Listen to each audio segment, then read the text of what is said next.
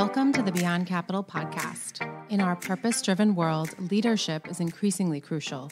Now more than ever, stakeholders are demanding the integration of social values and causes in everything from shoes to soap to investments. We are bringing you the stories of leaders that are marrying profit with purpose. I'm Eva Yazhari, CEO of Beyond Capital. And I'm Ed Stevens, CEO of Appreciate. And this is the Beyond Capital podcast. Today's guest is Ajaita Shah. Ajaita is the founder and CEO of Frontier Markets. She has over 15 years of experience working on business in rural India, including the microfinance, energy, access, marketing, financial inclusion, and livelihood industries.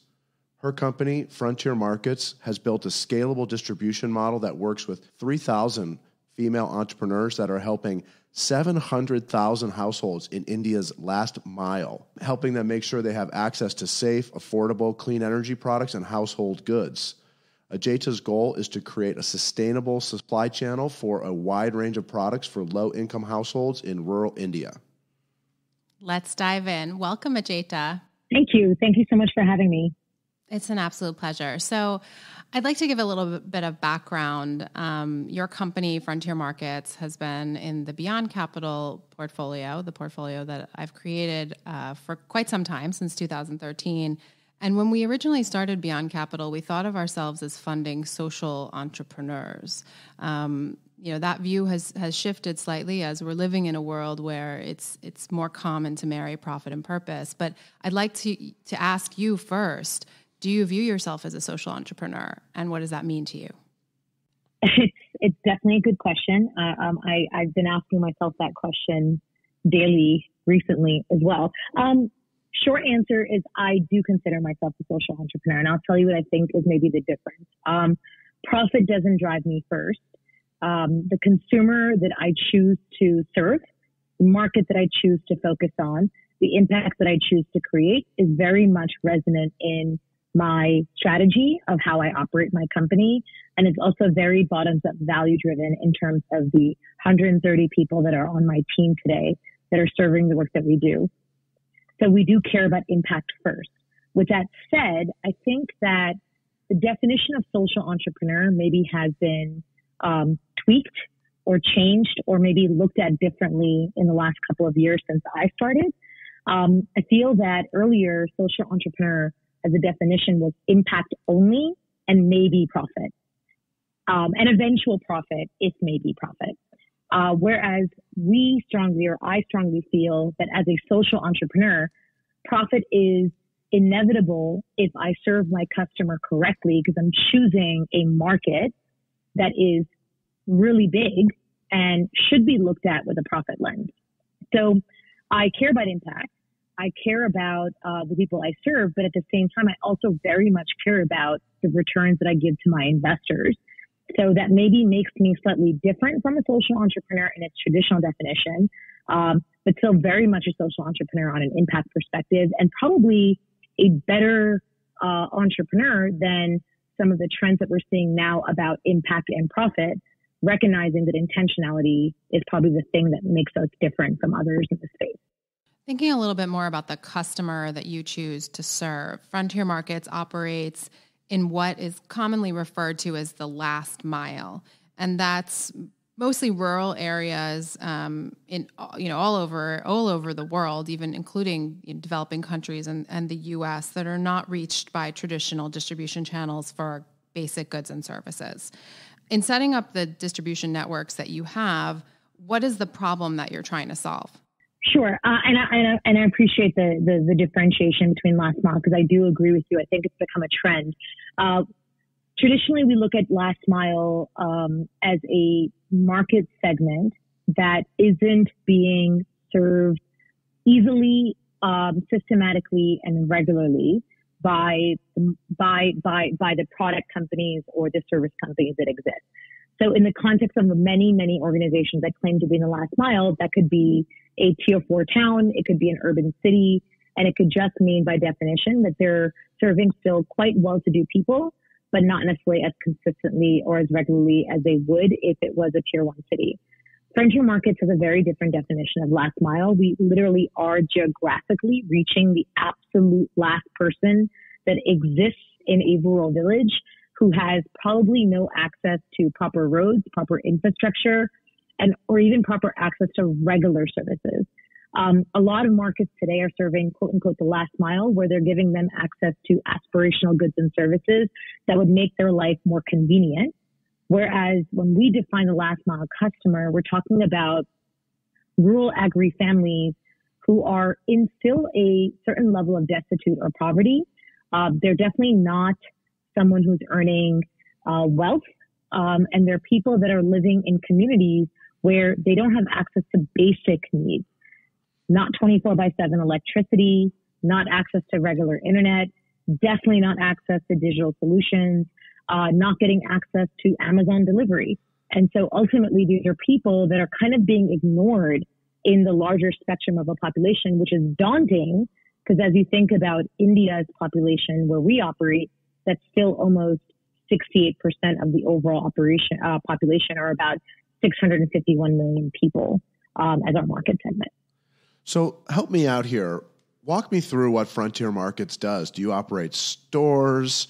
What kind of products do you sell? What is the concept for the business? One major ethos of perspective. The rural household that we look to serve, we believe that we need to become obsessed with their uh, needs, desires, wants, aspirations and understanding. So on the first lens, I'd say we're a very bottoms up or data centric company that cares about um, getting to know the rural household first and understanding what they need and then building an entire delivery system around what they need and who they are and when they want what they want. So on the one lens, I'd say we're a very marketing centric company that cares about using data to make decisions. Secondly, I would say that we're a local distribution company. So what we've done is we've literally invested in physical um, brick and mortar service centers that are managing an area of about 150 households or about 30,000 households um, in one area, where our goal has been to ensure that we're getting physical products. These could be energy appliances, these could be smartphones, these could be household appliances, that they're getting physically delivered to the doorstep of where these rural households live, which is a, typically around 30 kilometers away, um, and making sure that we have the right infrastructure of physical people to support that. That includes our own field staff, that are delivery guides, installation guides, after sales service guides, as well as mentors that are managing, I think, the most important piece of our puzzle, which is our women entrepreneurs. These are women entrepreneurs that we invest in that are locally from the villages where our customers live. So give you a very simple example. One village has 150 households. That's about 600 to 700 customers. There will be a woman who's been trained by us to physically market, sell, deliver, and service and be there as a center of facilitation for that customer base. That's what we call our offline setup. So is it? Um, sorry, one last piece to this is the tech, if that's okay. Sure. Um, all of this then gets all of this then gets operated through a technology platform, which is an e-commerce platform that has been created by frontier markets for these rural women to drive. So rural India is funny that way. You need offline handholding engagement, but also to make this efficient and scalable, technology is there as well. So we call it an offline online platform for the last mile. So no physical shops, but service centers and women that reach the doorstep. So is it like um, is it like a, a multi level, or are these individual women your employees? These individual women are not our employees. These are multi level women entrepreneurs. But with that said, they're not typical agents. So they don't just sell independently and make money like a Mary Kay or an Avon model. These are women that are actually getting part time hired by Frontier Markets as service providers. So they're earning commission on products that they sell as well as getting a service commission for the work that they do. Because we recognize data collection, marketing, and consumer partnership is also work that deserves to be paid for. Got it. I'm sure you have some really cool motorcycles too, but we'll get into that in a maybe subsequent uh, interview. Just to deliver the goods, right? To get out there, you must have all kinds of vehicles. Um, our field staff, uh, that is our uh, service center, it physically uh, would ha- be located in a place where even a small motorcycle with a uh, interesting storage vehicle could be um, used to deliver. The key here is not having a lot of vehicles. It's actually just making sure you're able to use data, timing, and rules to deliver. So imagine a rural woman placing an order on behalf of one of her customers, logging it in on her e-commerce platform, that information immediately getting delivered to our branch and actually then triggering one of our delivery guys to come down on his bike to go and deliver the product to that woman entrepreneur who can then doorstep deliver that product to the end customer. So it's about timing and mapping. Um, and yes, some vehicles, but not many. Recording this podcast from Dallas, I think it can be a little bit hard to imagine the impact of some of the products that you sell. Can you walk us through who benefits from your work? What, how do how do the renewable energy products and, and other household goods improve their lives? Sure. Um, and, and I was actually going to bring this up. I was going to say that uh, what I'm really proud of in, when it comes to Frontier Markets as a company is that we we're a very values driven company that focuses on the bottom. Our first level and measure of impact comes from our belief that the rural household deserves to be treated with dignity. So for us, the impact that we create drives on ensuring that the right products and services are delivered to rural consumers that matter the most. Um, the impact that we measure is focused around how the products either create livelihoods, help uh, rural households spend money on better solutions or save money on safety and on aspiration. And that's really about then looking at the segments of products that we have. So just to give one example, energy access has been one of our core areas of focus because in rural India today, um, there isn't 24 by 7 access to regular electricity, let alone outdoor electricity. One of our top selling products is a very basic but required solar torch. This is a torch that has been used by farmers to protect themselves um, and their families against animals that they otherwise see on a regular basis that leads to a lot of health disasters. I can't tell you how many times I've had mothers thank us by introducing a reliable solar powered torch that helps their child not get bitten by snakes as they're going to the bathroom at night. So there's a lot of other like elements as we start thinking about designing this. Some other products that we've introduced that we're very proud of most recently has been uh, getting smartphones with internet connectivity to the last mile customer. 90% of our customers today are using smartphones, not just to talk to people, but they're using it now to conduct business decisions, collect data, and actually be able to do cash transactions. So wallet systems and payments have become a really big part of what Frontier Markets does. Um, and then we have home appliances that, you know, don't sound as exciting as productivity, but when you save a woman literally five hours in her day because she's not just chopping and grinding because you've been able to give her a better solution that's reliable, she uses her saved time to do other income generating opportunities or, you know, shocking to the world, rest and actually take a minute to spend time with their children. So we start really looking at impact metrics in a very different level of seeing how are we creating a better life, an easier life, or a safer life for the rural households that we want to serve the most. Yeah, and the the tagline of your company is Saral Jivan, which means easy life. And I think, easy life. yeah, I think it's something that unifies us, us all. I mean, when I was visiting your business in October, it really stood out to me that we're all we're all looking for an easy life. Turning a little bit to your product mix, I know you've created your own products um, as well as sourcing them from other manufacturers. Tell us a little bit more about what drove that decision. Sure. When we first started um, the company, we were very clear that we it, it, it, that we wanted to create a marriage between uh, introducing a solution that could be low hanging and easy to understand and directly address a challenge that a rural household is facing, while at the same time building a brand of trust. Having been in the microfinance space, I tried everything. I tried clean water, I tried healthcare, and frankly, energy was the, the one that stuck the, the, the quickest because when you go from darkness to light and you're able to actually rely on a product, you're able to trust the, the person that delivered it to you. Um, in our sector, however, unfortunately, we realized that a lot of the products that were being developed for this rural customer weren't necessarily designed with them in mind. So um, they weren't priced the right way, they weren't durable the right way, they weren't actually solving the problem directly.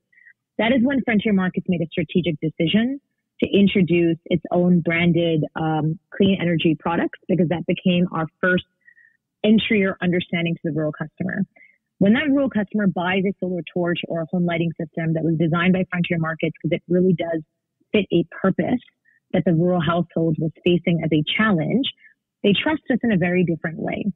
What we didn't realize over a period of time was once you've brought in energy as a solution and you've actually been able to build that trust over a period of time, that rural customer is not just looking at you to solve their energy challenges. They fundamentally look at you to create an ease of life. And all of a sudden, that same rural customer is asking you to bring in a lot more other solutions, whether it's smartphones, whether it's um, mixers, grinders, irons, to TVs, washing machines, refrigerators. All of a sudden, that customer is turning to you as Frontier Market saying, Hey, we like you guys because A, you hear us. You then negotiate pricing and quality products of other brands that we like, but we've never gotten access to. You then not only introduce those products to us, you help us understand how to use it. You then get us the best pricing possible. You deliver it to our doorstep. And if there's ever a challenge in the product for whatever reason, you're there to make sure that customer service is readily available to us. And that's what actually opened Frontier Market's ability to introduce Samsung, Philips, Kohler, um, and other branded product company solutions because they were creating great quality products in these categories.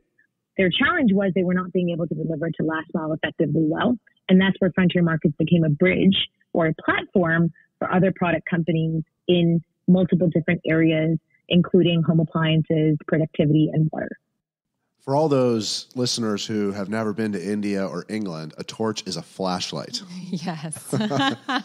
Which could just be a little bit confusing Sorry. for some people who might just think this is somehow turning the sun's rays into a flame that little kids are taking out in the middle of the night to ward off the snakes with. Um, that's not what we're talking about. It's a flashlight that is powered by the sun. I think I think that tells you how many years I've been living in India versus in America. Yeah, but um, that's funny. Yeah, cool stuff though. Just sticking in the rural household, and then I'd like to zoom out a little bit. Um, you have employed over 3,000 women, and they've generated $3 million in income, which is incredible for a population that typically lives around four or $5 a day. Um, what I also love is that in addition to integrating them in your business model, you have helped to challenge some social norms. Uh, these women's seat at the table has has grown, and they're supporting their families in ways that they weren't previously. Did you envision these, this change in dynamics when you started engaging rural women to be your sales force? Uh, it's a great question, Eva. To be honest with you, no um, when I first met rural women in India, and again, to give the audience the context, right? Um, Northern India, where we operate, is much more conservative. Um, and there's a fundamental belief that, that women are, um, their only purpose is essentially to be married and create babies. Um, they don't need to be educated. Uh, they don't need to have a voice.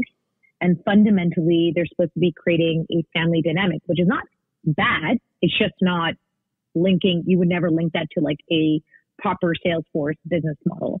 And so when Frontier Markets first started, we actually didn't see a role for women at all. We thought, you know, you're going to partner with rural farmers and you're going to reach rural families.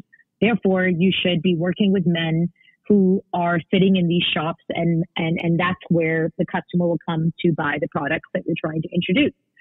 It was only in 2015 that we learned that while the customers were men, were buying the products because they had traditionally the money in their pockets. It was actually the women that were using those solutions. In fact, 70% of, at that time, uh, half a million customers, 70% of our users were women. What we learned was that when women saw a solution because they were the center of the challenge, let's be clear, women were always the ones that were dealing with all the challenges that came with electricity access first, because um, they worried about their kids, they worried about their husbands, they worried about themselves. Um, they were the fastest to understand why solar would be a good replacement for their day-to-day challenges. Now, to incorporate that as a strategy took us quite some time. We didn't see, we didn't know that women would be able to um, embrace marketing, sales, and after sales service the way they have. What we've learned is that one, we underestimated the role of women very significantly. Our women today are the best to gather insights, build trust. They can enter into any doorstep, any household and have a proper conversation. They are hungry to earn income because these are the same women that were married at the age of 14 and at 30 by the time they come to us, they already have five kids and they really want to participate in the economy in a way that they've not been denied. All they're asking for are skills. They're asking for access to cell phones. They're asking for access to information and they drive it in a very amazing way. The most powerful part of this entire story for me, and even you touched on this slightly, is that not only are they earning a lot more income and being, building building a business opportunity for frontier markets, but when they earn income, everything changes because these women are not just spending money on themselves, but they're helping their daughters, um, you know, get access to private education. They're helping communities adopt better solutions and they're creating leaders all around them. So you're seeing exponential levels of impact that get created that I think, honestly, reflecting on this, we underestimated what that would be now that we know it, I mean, it's the core of what we do. And we see an incredible opportunity for the future of really scaling that investing in women is smart business. And the key to that profit and impact uh, combination that we are looking to seek. This question is probably going to sound terrible to everybody, but I'm going to ask it anyway, which is um, you have this small village, there's 150 households in it, and you've identified your representative. You've put her through training. She's started up and she's going. She's like one of the more prestigious sort of women in her area. Um, what's the dynamic when that starts going like off the tracks? Um, you know, like she now isn't delivering it right, or people don't like her anymore. Um, it seems like in a small village, that could be kind of like in a way a family business. Maybe a lot of um, I'm, I'm, sure you have dealt with this, so I'm just curious um, if you could shed a little bit of light on how you, you know, maintain the sort of right dynamic there with with really a single point of failure. Um, sounds like um, with that yeah, individual. I think I think I think it's a great question, and I think that um, you know I, guess I'll answer this in two ways. Um, one is that the whole purpose of frontier markets is quote unquote offline infrastructure, our branches and our field staff. Um, is we, we create that infrastructure so that we can support our women entrepreneurs and co-brand or co-build uh, brand equity on the ground. Uh, a rural customer very typically always says that they say two things, right? They say that, look, we, we know our our Saheli, our women entrepreneur, because we've grown up with her. So we've known her our entire life and therefore we trust her. But we're also really happy today because she's getting supported by a company that does not leave. And I think that's been a really important factor in really building out that value chain or ecosystem. You know, uh, a lot of companies that invest in women entrepreneur models, they kind of leave these women out in the cold, hanging, saying, you have the customer base, you have a relationship. Here's a product basket. Go sell. So if they fail for a lot of the reasons that you're mentioning, um, they're on their own. And ultimately, a typical company would say, all right, well, they didn't do their job and therefore replace them. That's not how FM operates. We as a company really focus on data and building relationships and really trying to understand the dynamics uh, between the rural entrepreneur, frontier markets, and our relationship with that rural customer in itself. So if she is for whatever reason, quote unquote, not performing, we would know quite quickly. Usually the reason for her not performing has nothing to do with her being quote unquote bad or not good at her job. Um, it's usually some sort of personal conflict, right? I mean, we have to remember that we're working in villages that are very sensitive to realities and harshness of the world.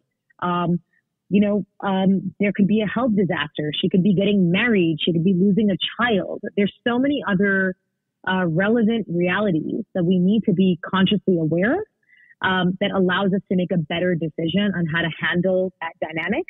With that said, because Frontier Markets does have a very strong brand connection to its rural customers directly, uh, we're able to replace that situation if that is the ultimate requirement because our ethos or our philosophy is that the rural customer is the king.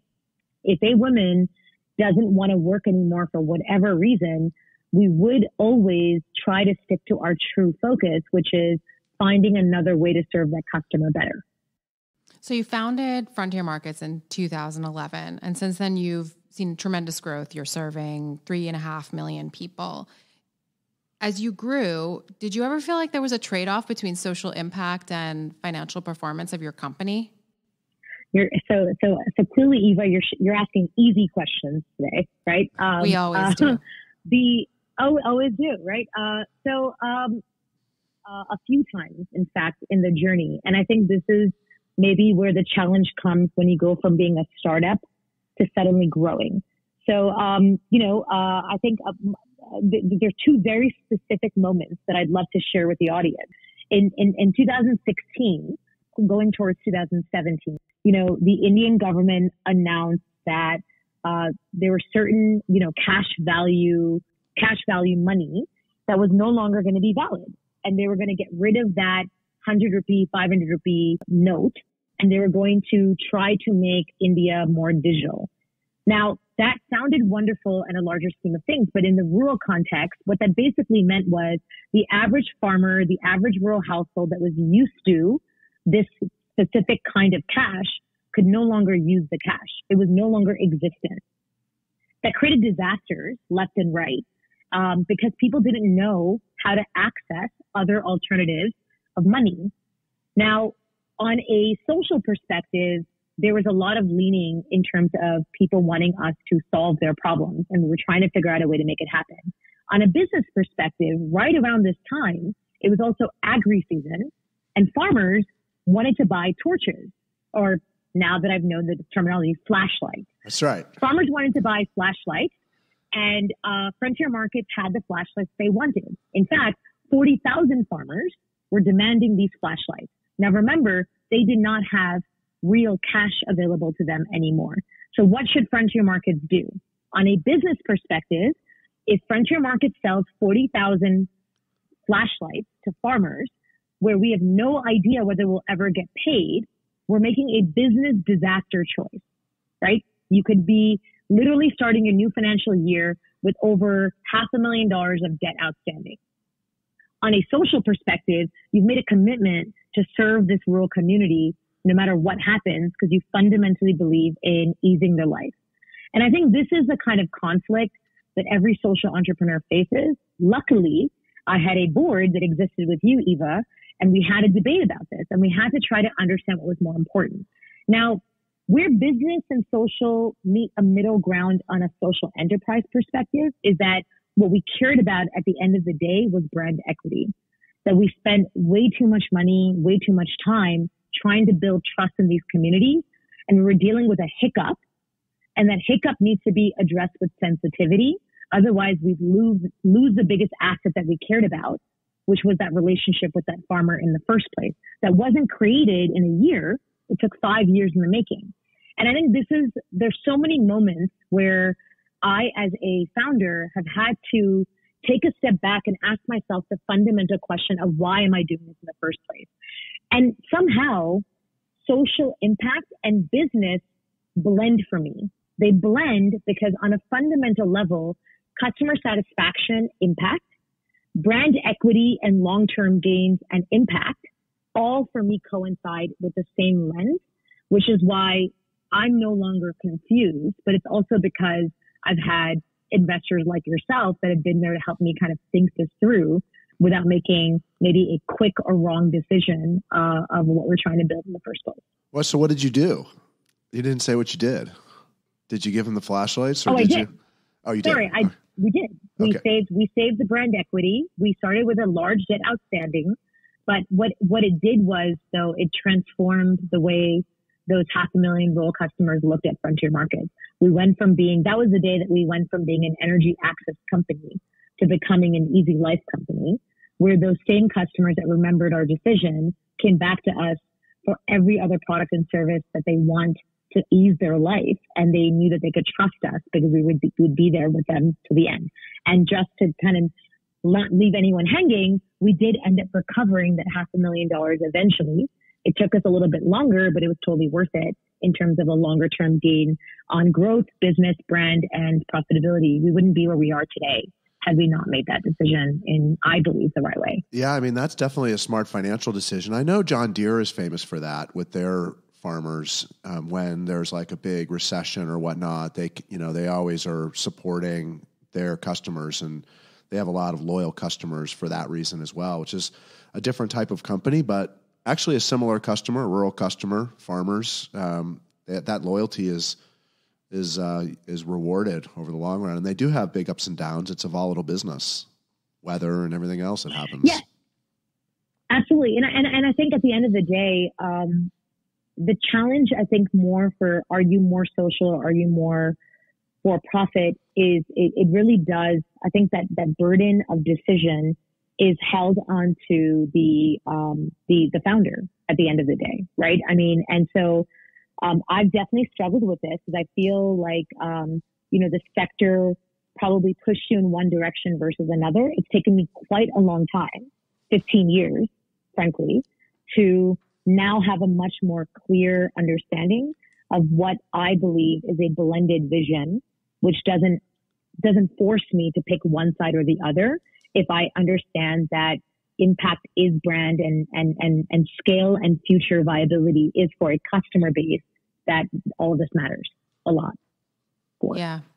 I've, I've really enjoyed uh, watching you on your pathway as the founder and CEO of this company uh, since we invested in in 2013 you're a New York City girl like me, and you now live in India again, where your family is from. But and you've also won dozens of awards, Forbes 30 under 30. Uh, you've addressed the UN uh, and and won United Nations awards, and you've been recognized in, as an exceptional entrepreneur. And since this podcast is also focused on leadership, tell us what motivates you to get up in the morning and lead with enthusiasm? Uh, yeah, um, you know, um, I, I, think I think that um, maybe my own journey or the contradictions or the challenges that I faced growing up uh, probably always reminds me that I'm lucky. Um, you know, I grew up, as you rightfully said, in New York, but also with a very conservative Indian family or society where I did have to fight to be a different girl and and and and recognize that my journey wasn't limited to the uh, stereotypes that are there for frankly girls all over the world. Um, I didn't find my journey to be uh, or my or, or the, the preconceived notions of what my capability or responsibilities are. They were not that different from a rural Indian woman, uh, which is really sad. Uh, but the difference was that I still had education. I came from a better privileged family. Um, and so I had the right tools to be able to fight out of those stereotypes to then achieve whatever I have achieved today. Um, and I think that it's always a constant reminder when I meet the kind of rural women that I do, when I even meet the staff that I do, right? I mean, today we have 130 staff, um, and of which now we're struggling, but trying really hard to constantly keep at least 40 to 50% of that staff gender equal because, you know, urban women in India today are not facing very different challenges than I did growing up. Um, and that was like 35 years ago. So you're constantly looking at the world and you're constantly trying to see where the changes need to come. You realize very quickly that it's not just about your journey, but it's about everyone else's journey that you can create. And I believe in power of platform. Um, hence why my 3 million rural consumers finally have a voice in a way that actually creates an impactful difference for everyone around them. Um, I don't, I think that that follows me for everything that I do, um, uh, whether it's our staff, whether it's even colleagues that we're really trying to motivate. Um, I think Eva, you know this. I mentor a lot of uh, startup women entrepreneurs, um, trying to help them, you know, get through the the treacheries or drudgeries of being a social entrepreneur faster. Because I think the world needs it, and and I think that um, I'm I'm just lucky to be able to combine my experience, my humility, my family, my support, mentors like you that really helped me drive uh, this at an exponential way, recognizing it's not about me, but it's about the impact we can create all around us. I'm really excited to ask you this last question because I know you have big plans for your company. What is next for Frontier Markets, and what mark do you hope your company will leave on the world? I'm, ex- I'm excited in, in, in, two different levels. Um, uh, one is, I think, for Frontier Markets directly, I think we're hitting this really exciting inflection point where we're going to become India's first offline online, so tech and offline gender enabled um, access company. Like in not just India, I think the world that is profitable and that is also scaling rapidly. So in the next five years, I see our, just on a numbers perspective, I see us going from a network of 3,000 women to almost 50,000 women, 3 million customers to 100 million customers, pan India, and really driving uh, products and services to rural households to create a dignity and the next economy in a way that's extremely exciting. We have really exciting partnerships coming up with folks like Unilever, Gates Foundation, um, Amazon, and others that are really recognizing that rural households deserve a platform of voice and services in a way that I think Frontier Markets is going to be a leader in driving that and making that happen. Personally, um, I'm extremely excited to see how the leadership is evolving and changing.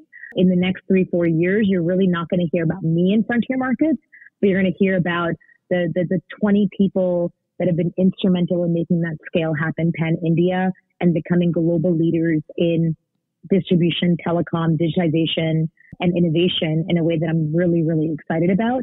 And on a global perspective, I think that, you know, every founder's dream, um, and maybe specifically mine as a woman CEO working in a social enterprise company that is last mile, I'm really excited to hopefully be one of the first unicorn stories that actually exits all of its investors commercially and creating this amazing impact. And I think that that's really something that we're all driving to see. We're driving to see the next big economy, the next big excitement that can manage both impact and profitability at the same time. And I'm really hopeful that I think myself, Frontier Markets, and the team will become that story or that example that can take the scale. Uh, we have a foundation in the U.S. that you know about, Eva, that has always hoped for that. That the learnings that came from Frontier Markets in India could be replicated globally and inspire other organizations to repeat models that can work. So through the foundation, we've actually lined up our next 10 countries and 10 organizations that we're hoping to work with very closely to create replicable, scalable models that come from frontier markets as an inspiration in the next coming years. So there's a lot of exciting stuff to happen. And, and I think it's really exciting to see the roles that, um, our mentors, our investors will play not just in making that happen at Frontier Markets or for myself, but also I think globally uh, to become leaders in that same way. That's really exciting. Absolutely. Thank you, Ajaita. It's it's been a pleasure to have you as always, and um, congratulations on everything. That's that's all I can always say to you. No, thank you so much. And and like I said, I mean, I really appreciate the opportunity. I, will just like close this on with one note. Like, um, I think Eva, like for me, uh, Beyond Capital Fund has been around since the earlier days. And, um, I think, uh, you know, one thing that we, I always like, like touching upon is that whatever has been achieved by frontier markets or by me personally or by the sector, it really does take partnerships like Beyond Capital Fund to make that happen. So super appreciative of your approach to not just money, but also resources and guidance and advisory it really has allowed us to achieve what we have to this date. And I'm pretty confident that it's going to help uh, scale the learnings even further going forward. So thank you so much for your leadership as well. Thank you. Aw. Have a great day. And we know you have some business meetings. Yes. Thank yeah. you so much. Take care. Bye. Thanks. Bye. Bye. Once again, it's clear that a business leader with good intentions can create an impressive social, environmental, and ethical impact. There is always a way to put meaning behind the mission of a company, and we can all make a difference. You've taken the first step by listening to the Beyond Capital podcast. Thanks for joining us. Don't forget to rate, review, and if you haven't yet, subscribe on your favorite podcast platform. For more information, go to beyondcapitalpodcast.com. You can follow me on Twitter at EA Stevens. And follow me on Instagram at Conscious Investor. Until next time. Bye, everyone.